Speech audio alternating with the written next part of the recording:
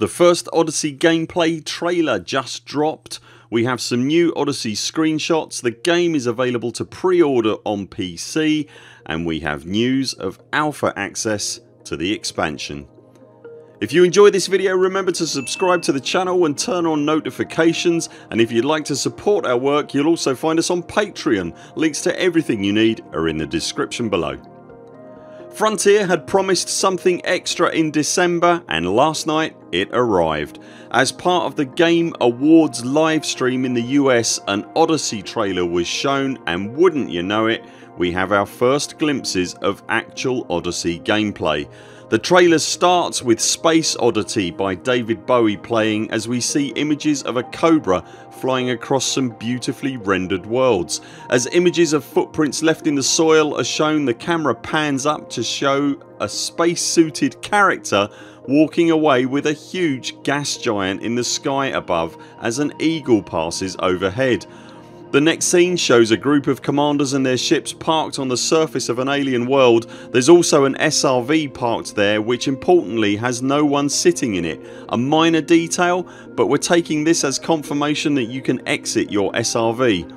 We're then treated to various scenes of suited commanders walking SRVs, planets with tenuous atmospheres and exteriors of the Astor's Hope ground installation that we're familiar with from other trailers all of them looking thoroughly tantalising and beautifully rendered. It's worth mentioning by the way that the words in-game footage are on screen throughout all of this trailer.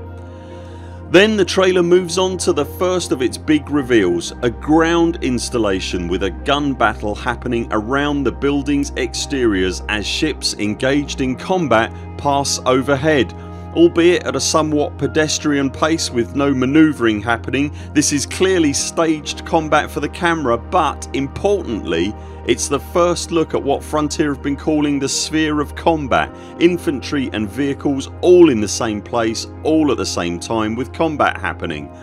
But the trailer isn't done with you yet. What follows after are multiple very quick flashes of first person shooter combat from within Elite Dangerous both inside and outside of a ground installation on a planet with a tenuous atmosphere. We see grenades, tracer fire, personal shields flaring, structures on fire, energy weapons, combat by torchlight, weapons being reloaded, combateers looking down the sights of their weapons and even a small puff of blood at one point. It really seems as though Frontier are aiming for a fully fleshed out first person shooter experience. There are so many details we've noticed in this trailer and it all moves by so quickly that we'll be releasing a second video to pick up everything that we can't fit in here just now. The trailer closes with the two now familiar male and female space suited characters overlooking a valley on an atmospheric world as a cobra passes really low overhead. The shot giving a really solid impression of just how big the ship is. As the trailer went live so did the pre-order for the PC platform at least. Consoles don't seem to have the option at the moment. The pre-order comes in two flavours. The standard 30 quid option gives access to an exclusive skin for your character and coming in at 40 quid is the deluxe alpha edition which includes the exclusive skin but also comes with the Elite Dangerous Odyssey original soundtrack music and importantly access to the alpha build of the game. If you're lucky enough to own the lifetime expansion pass to the game from way way back in the day you will get the deluxe alpha version of Odyssey for free. No pre-order necessary. All in all the trailer was very much made for the environment in which it was launched and for the audience that was expected to see it in that environment. That's to say it was being shown at an award ceremony to an audience of around 500,000 people the vast majority of whom probably aren't Elite Dangerous players already. It very much felt like it was designed to grab the attention of people who don't play the game right now but might be interested in picking up an MMO first person shooter. Frontier needs to bring new blood into the galaxy to ensure Elite's long term future. This trailer feels like part of that process.